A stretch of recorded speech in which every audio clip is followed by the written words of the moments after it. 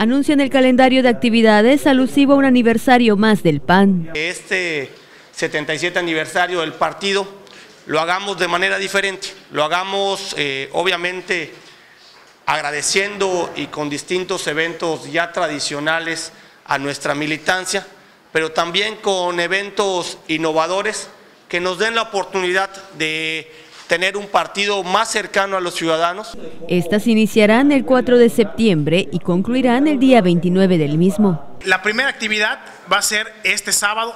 Como ustedes saben, eh, el Comité Directivo Municipal del PAN en las colonias y comisarías de la ciudad de Mérida tiene sus estructuras que son los subcomités del partido. Este próximo sábado a las 5.30 de la tarde en el Salón Palacio Real arrancamos con esta primera actividad, va a ser la toma de protesta. Y por primera vez en esta ocasión será la entrega de las medallas Luis H. Álvarez y Sara Mena de Correa. A partir de este año vamos a empezar a entregar unas medallas de reconocimiento a la militancia panista.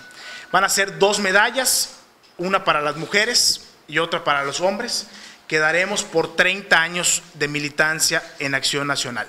La medalla de las mujeres tendrá el nombre de Sara Mena de Correa, en honor a, doña Sarita, eh, acaecida hace unos días aquí en la ciudad de, de Mérida. Todo esto se realiza con el fin de que los ciudadanos conozcan el trabajo que Acción Nacional ha realizado a lo largo de estos años.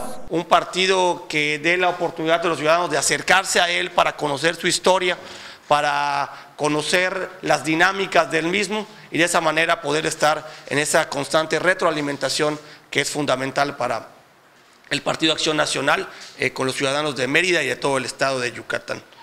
De esta manera, Acción Nacional celebrará un aniversario más, dando muestra de la fortaleza del mismo para continuar trabajando con la militancia, favoreciendo a todos los yucatecos.